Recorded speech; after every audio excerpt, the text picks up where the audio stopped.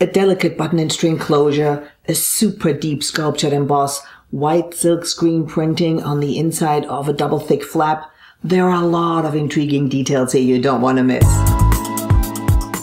Hi everybody, I'm Sabine Lenz, the founder of PaperSpecs with your weekly dose of paper inspiration.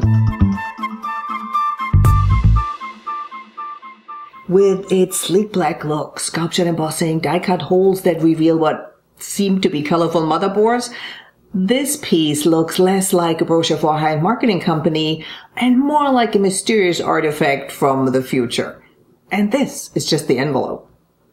Though ModOp services extend from overall strategy to video and even web-based games, when the company wanted to convey their abilities in a format that felt premium, they turned to the look, feel, and sense of authority that only print can provide. And in DataGraphic, they found a partner that's been successfully pushing the print envelope for years. And the envelope is an excellent place to begin. Starting with the 122 pound black Neenah Plike, DataGraphic added ModOp's logo as a sculptured emboss, highlighting it even further with the spot gloss UV coating. Two round die cut windows in the O's give us a teasing glimpse of the content inside. On the back of the envelope are the words, what's your MO? Screen printed white, as well as a button and string closure, my absolute favorite, which holds everything closed. In a move that communicates a keen eye for detail, the buttons are not only made from the same Plike sheet, but to ensure that the opening flap successfully endures continued opening and closing, the right flap of the envelope is extra thick, achieved by folding a flap extension in and gluing it to create a double thick flap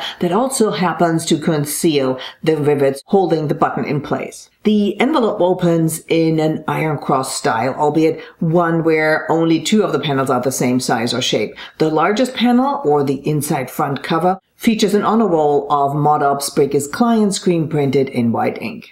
Normally I'd spend a little more time here drinking in all the details of this piece, like the white screen printed ModOp logo on the inside flap, were it not for the very intriguing card staring at me from the inside.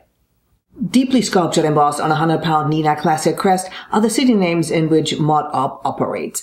The company's website digitally printed in a rich black below. The embossing area here is exceptionally wide and deep, and so DataGraphic had to take extra care in creating this effect, for which they used a special proprietary mounting technique they wouldn't tell us more about. Removing the card from the envelope reveals that it is, in fact, a bifold with a short cover. Inside, instead of finding the reverse debossing from the embossing on the cover, it's a digitally printed list of the many services the company provides. How did they circumvent the debossing look?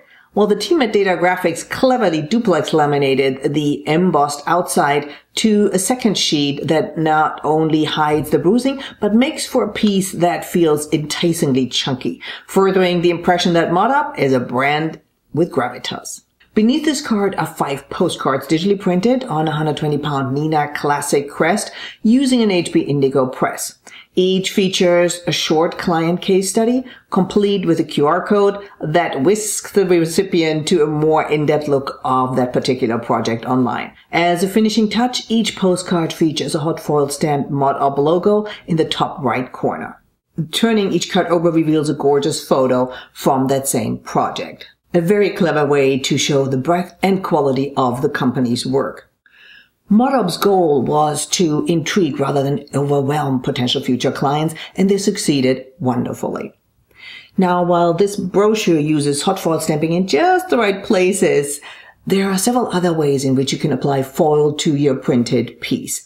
Download our free foil cheat sheet right now to find out the pros and cons of the more traditional as well as digital options available to you. Did you enjoy this video? Then please subscribe to our channel. And of course, it would be amazing if you shared with all your friends. And keep sending me your fabulous printed pieces. I love to feature them.